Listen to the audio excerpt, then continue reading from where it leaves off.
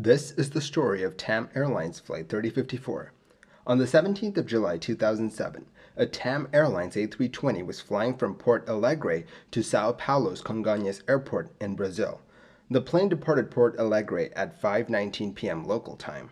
As the plane flew towards Congonhas, the weather was very bad, a sign of things to come. The A320 that they were flying was limited in a way the plane did not have an operational thrust reverser on the number 2 engine or the right hand side. Thrust reversers are used to redirect air in the opposite direction of travel so as to help with braking. As they got closer to the airport, they got reports from other pilots who had landed on runway 35 left. The runway was wet and slippery. They'd have to be extra careful on this approach as they had an inactive reverser. The plane flew the approach perfectly. As the plane flared over the runway, the pilots brought the throttle back. The plane touched down at 140 knots. But they soon realized that something wasn't right. The plane wasn't slowing down as they had expected, and the spoilers had not deployed. Making matters worse, the auto brake system had not engaged as well. The nose gear touched down, and the plane showed no signs of slowing down. The plane ate through the limited amount of runway that Congonhas had. Six seconds after touchdown, the pilots realized that they had to do something and they engaged the brakes with the pedals. They were also fighting the plane. The plane wanted to veer to the left, but the pilots fought it with rudder inputs. But it was too little, too late. Runway 35 left was just too short for the plane to stop. The plane veered to the left and exited the airport premises. The airport was raised by a bit, so the momentum of the plane carried it over a major road near the airport. The plane impacted a building nearby. No one on board made it, and 12 people on the ground did not make it. Finding out what happened to Flight 3054 would be hard. Congonhas was one of Brazil's busiest airports. If something was wrong, they needed to know. Talking to pilots, they found something strange. They were apprehensive about landing at Congonhas, concerned in a way. The airport was surrounded by buildings and it was densely populated. Flying in and out of Congonhas, especially under rainy conditions, was very challenging for pilots. Why was this? In 2005, they found that the runways had a low friction coefficient. That is, the runways were not putting up enough resistance to slow landing planes down. In addition to that, water pooled on the runway, making landings very slippery. So they set out to retexture the entire runway and they decided to remove rubber from the runway at increased intervals. All of this was done to increase the friction coefficient of the runways.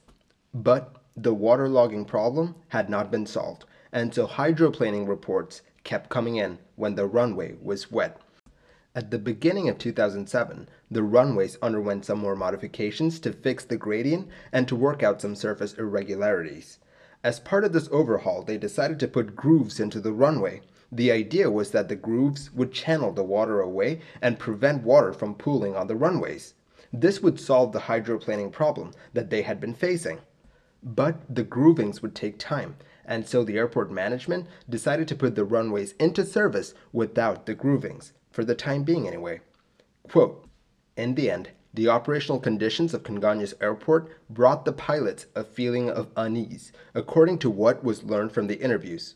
The reason for the discomfort was precisely the lack of options in case of emergencies.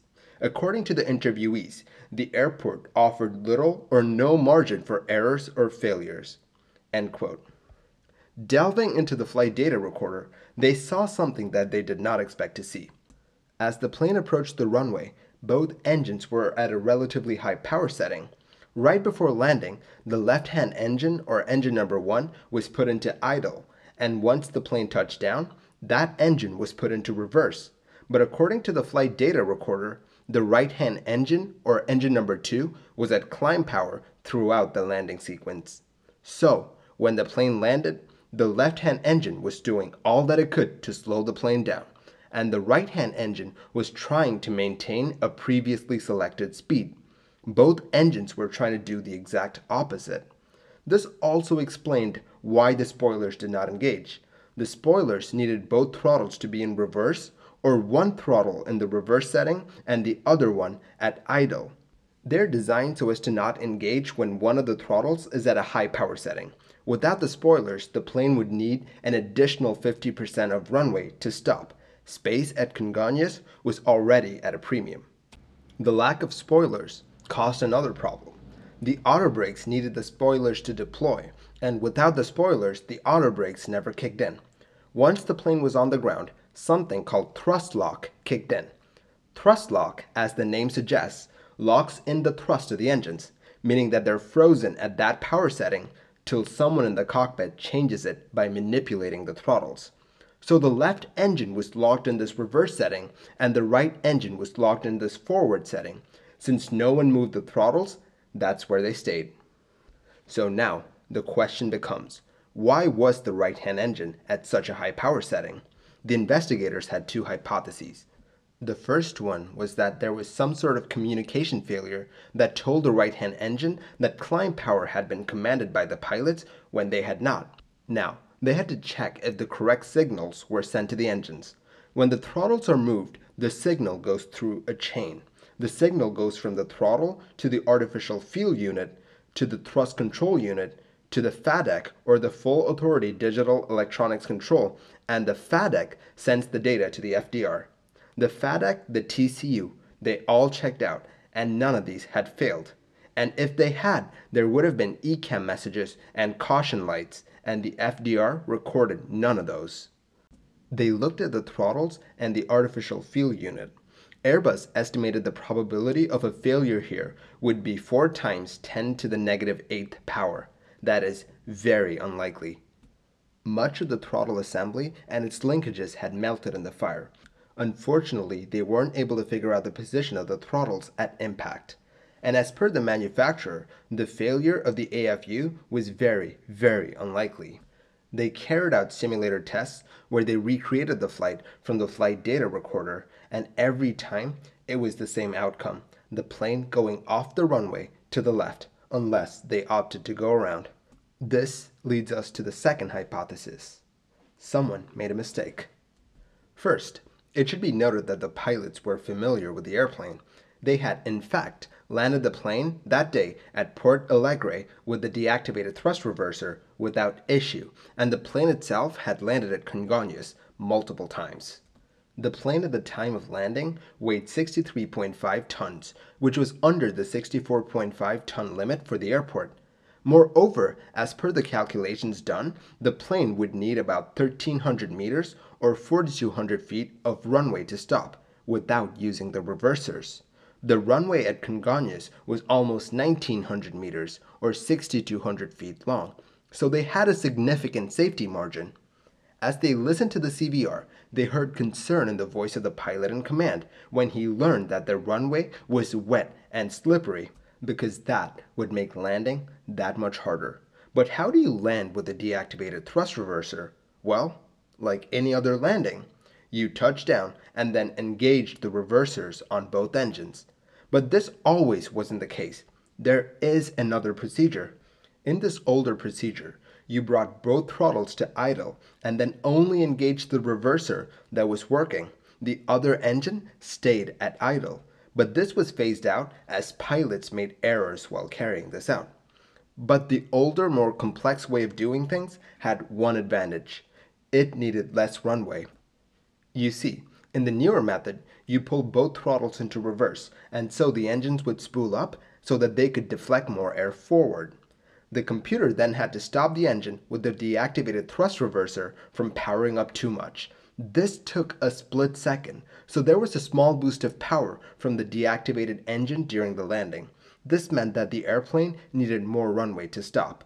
55 meters or 180 feet of additional runway was required. So, it is plausible that the captain opted to use the older, more complex method of thrust reverser activation as he was concerned about the runway. He had this mindset of, we're going to need all the runway that we can get. The captain was stressed and he had a headache, so there is a possibility that he made an error during this procedure where pilots are known to make errors. This could also explain why it took them so long to recognize the severity of the situation.